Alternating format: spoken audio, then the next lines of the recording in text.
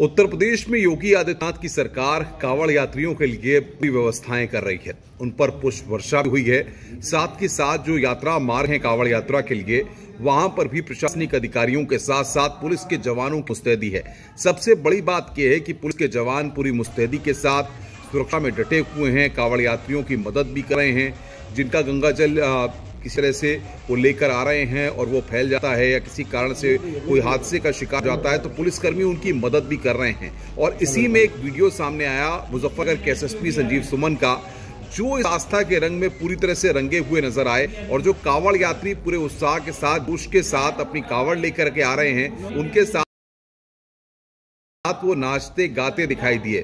संजीव सुमन मुजफ्फरनगर के एसएसपी हैं, पुलिस कप्तान हैं, जिनके ऊपर एक बहुत बड़ी ज़िम्मेदारी इसलिए भी है क्योंकि कावड़ यात्रा का जो एक मुख्य पड़ाव है, वो मुजफ्फरनगर है। और वहाँ पर संजीव सुमन ने कमान संभाल रखी है, जो तमाम एस हैं, तमाम सर्किल ऑफिसर्स हैं, चाहे मुजफ्फरनगर के हों, चाहे हापुड़ के हों, चाहे सहारनपुर के हों, ये जो यात्रा की, कावड़ यात्रा के जो रूट हैं, जो मार्ग हैं, वहाँ पर उत्तर प्रदेश पुलिस के जवान पूरी मुस्तैदी के साथ काम कर रहे हैं। और दिन हो या रात हो, क्योंकि लगातार कावड़ यात्रा जारी है। ऐसे में किसी को भी कोई दिक्कतें पेश ना आए।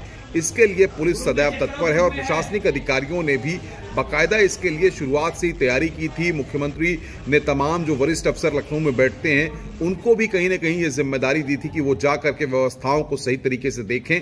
और अब कहीं ना कहीं वो जोश जो है, जो कावड़ यात्रियों का है, जो व्यवस्थाएँ हैं, उस पूरे रंग में आईपीएस अधिकारी भी रंगे हुए नज़र आ रहे हैं। और संजीव सुमन का ये वीडियो भी बता रहा है कि संजीव सुमन कितने उत्साह के साथ आ, पूरी तरह से आ, जो कांवड़ यात्रियों का जोश है जो आस्था है जो शिव भक्तों का रेला है उसमें पूरी तरह से झूम रहे हैं।